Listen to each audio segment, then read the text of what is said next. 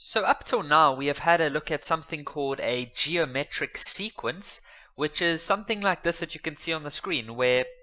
to get from the 3 to the 6 you would multiply by 2 and from the 6 to the 12 you would also multiply by 2 and so on and so forth until the 48.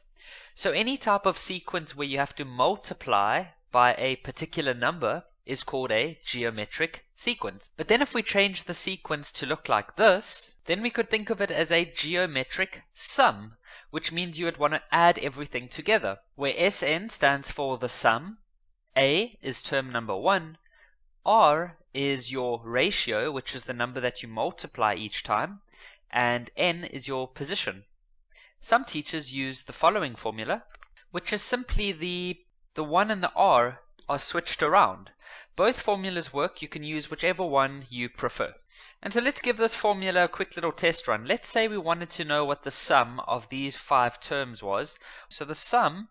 up to five terms, so that over there is my version of S, and then the 5 is just position number 5, equals to A, well A is term 1 and that's 3, 1 minus your ratio is 2 because you have to multiply by 2 each time to the power of 5 that's the position that we are looking for. And then at the bottom we have 1 minus 2 if you plug all of that in on the calculator you get a value of value of 93 because if we look at